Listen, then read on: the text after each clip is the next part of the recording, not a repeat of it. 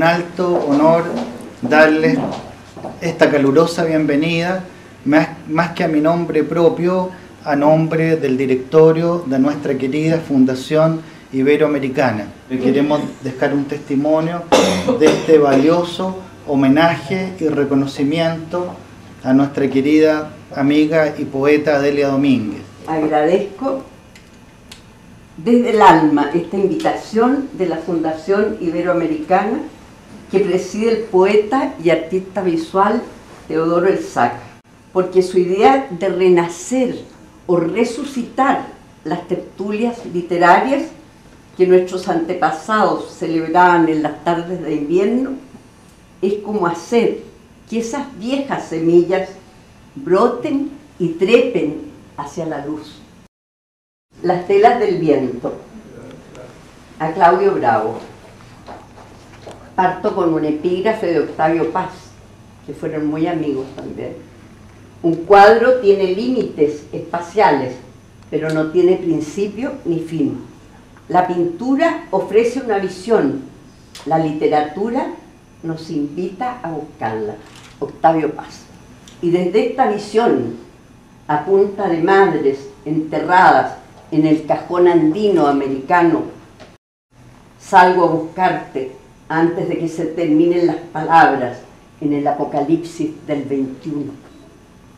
Salgo del cuadro, desde el útero empapado de los grandes lagos, donde un día nacimos de cabeza, aguas abajo, donde nadie fue capaz de aceitarnos las coseduras del alma, o de cortarnos, ni de cortarnos el ombligo para la separación o para la salvación, porque un ojo interior nos dejó amilagrados, colgando de un planeta pintado en la noche del sur.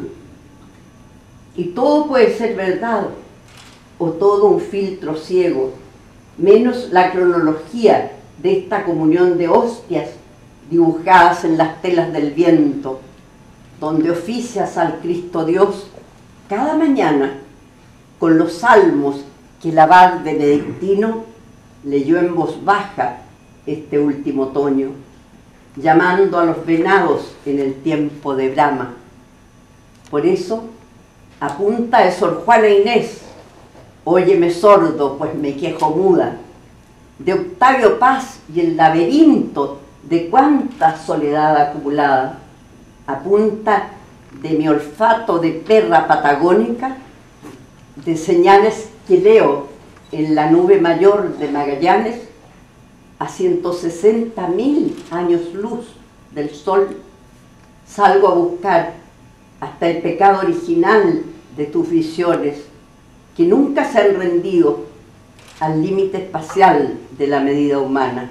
Salgo del cuadro, eso es todo.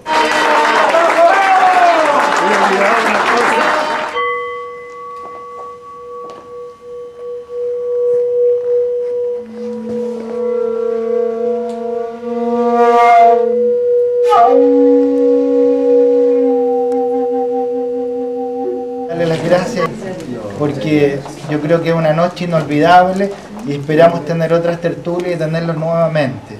Yo levanto la copa y hago este brindis por Delia que la Muchas beso, gracias, muchas la beso en su frente. Estoy Salud. emocionada.